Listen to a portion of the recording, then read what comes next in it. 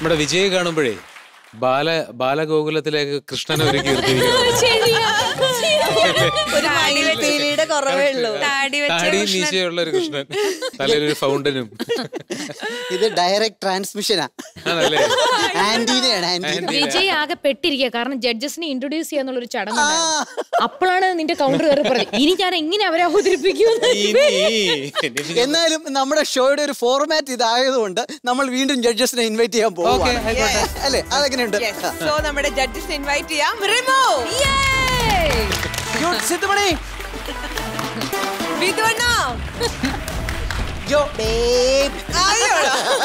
എന്താണ് അതിന്റെ പേരെന്താ? തലയിൽ വെട്ടിക്കുന്നത്? ഇതിന്റെ പേര് എന്റെ പേര് രമേശ്. ഒന്ന് ഒന്ന് വീണു വീണു ഒന്ന്.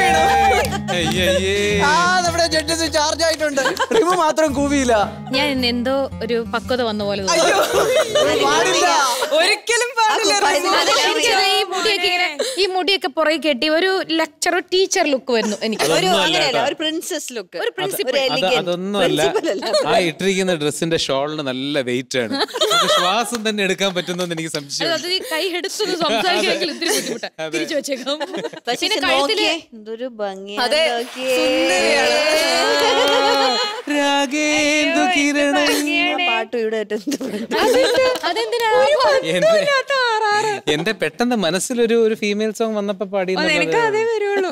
പ്രിയപ്പെട്ട ജഡ്ജസ് നമ്മുടെ വിദ്യകുട്ടിക്ക് ഒരു പാട്ട് പാടാൻ പാട്ട് എന്ന് പറഞ്ഞാൽ അത് ഈ ഒരു സാഹചര്യത്തിൽ എനിക്ക് പാടാൻ തോന്നിയതുകൊണ്ട് പാടാണ്. പാടും. ഇന്നത്തെ ദിവസത്തിന്റെ പ്രത്യേകത ഒരു പാട്ടിലൂടെ വിദ്യ വിവരിച്ചു തരുന്നതാണ് ബാക്കി നിങ്ങൾ ഏറ്റുപിടിക്കണം ആയിരം പാദസരങ്ങൾ കിലുങ്ങി ആലുവാ പുഴ പിന്നെയും ഒഴുകി. വൈ ബട്ട് വൈ ഞാൻ എന്തിനാ പാട്ട് പാടി? എന്തിനാ ഈ പാട്ട് പാടി പാടിയെന്നുള്ളത് എനിക്കും വിദ്യയ്ക്കും നാല് ജഡ്ജസിനും അറിയാം. പിന്നെ പ്രിയപ്പെട്ട പ്രേക്ഷകരുടെ മുമ്പിൽ അത് പറയുകയാണ്. ഇന്ന് യശശരീരനായ നമ്മുടെയെല്ലാം വളരെയധികം പ്രിയപ്പെട്ട ജി ദേവരാജൻ മാസ്റ്ററിന്റെ ജന്മദിനമാണ്. ഇനിയും അതിനെപ്പറ്റി പറയാൻ ആൾക്കാരുണ്ടെങ്കിൽ അത് നമ്മൾ രണ്ടുപേരുമല്ല. നിങ്ങൾ നാല് പേർക്കും അദ്ദേഹത്തിനെ പറ്റി പറയാനും ചിന്തിക്കാനും പാടാനും ഒക്കെ ഒരുപാട് കാണും. അല്ലേ ജോ?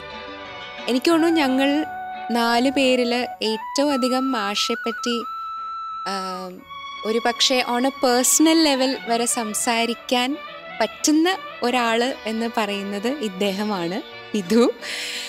പ്രത്യേകം പറയേണ്ട ഒരു കാര്യം വിധു മാഷിന്റെ അടുത്ത് മൂന്നര വർഷത്തോളം സംഗീതം പഠിച്ചിട്ടുള്ള ആളാണ്. മാഷ മാഷ് അങ്ങനെ അങ്ങനെ ഇങ്ങനെയൊന്നും ആരെയും ശിഷ്യരായിട്ട് സ്വീകരിക്കില്ല. മാഷ് അങ്ങനെ ഒരു പ്രത്യേക ഒരു ഞാൻ ഒന്നും നോക്കില്ല കാലി വീണു.